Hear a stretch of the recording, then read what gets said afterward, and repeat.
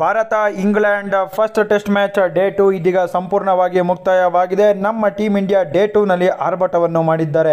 ಯಶಸ್ವಿ Jaiswal out ಆಗ್ತಾರೆ, K L Rahul out ಆಗ್ತಾರೆ, ಆದರೆ ಕೊನೆಗೆ ನಿಂತಿದ್ದು ನಮ್ಮ ರವೀಂದ್ರ ಜಡೇಜಾ ಅವರು.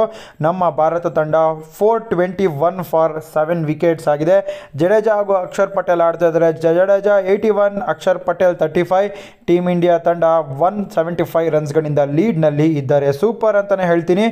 ಆದರೆ ಇವತ್ತು ಒಳ್ಳೆಯ ಪರ್ಫಾರ್ಮೆನ್ಸ್ ಕೊಟ್ಟಿದ್ದು ಶ್ರೇಯಸ್ ಅಯ್ಯರ್ ಅವರಲ್ಲ, ಕೆ ಎಲ್ ರಾಹುಲ್ ಅವರು. ಏಯ್ಟಿ ಸಿಕ್ಸ್ ಹೊಡೆದ್ರು Jadeja eighty one not out ಆಗಿ ಆಡ್ತಾ ಇದ್ದಾರೆ ಅವರ ಸ್ಟ್ರೈಕ್ ರೇಟು ಫಿಫ್ಟಿ ಟು ಆಗಿದೆ.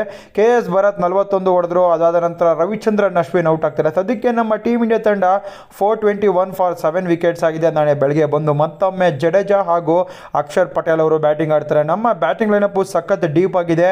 ಕೊನೆ ಕೊನೆ ಪ್ಲೇಯರ್ಸು ಕೂಡ ಸೂಪರ್ ಆದಂಥ ಪರ್ಫಾರ್ಮೆನ್ಸ್ ಕೊಡಬಹುದು. ನಮ್ಮ ಟೀಮ್ ಇಂಡಿಯಾ ತಂಡ ಹೆವಿಯಾಗಿ ತಂಡ ಥರ ಕಾಣಿಸ್ತಿದೆ ಅಂತಲೇ ಹೇಳ್ತೀನಿ. ರವೀಂದ್ರ ಜಡೇಜಾ ಅವರು ಏಯ್ಟಿ ಒನ್ ರನ್ಸ್ ಹೊಡೆಯುವ ಮೂಲಕ ದಾಖಲೆಗಳನ್ನು ಸೃಷ್ಟಿ ಮಾಡ್ತಾ ಇದ್ದಾರೆ. ಬ್ಯಾಟಿಂಗ್ ಮತ್ತು ಬೌಲಿಂಗಲ್ಲಿ ಇದೇ ಥರ ಆಡಿದ್ರೆ ಪಕ್ಕ ನಮ್ಮ ಟೀಮ್ ಇಂಡಿಯಾ ಹೊಸ ದಾಖಲೆ ಬರೆಯುತ್ತೆ ಗುರು.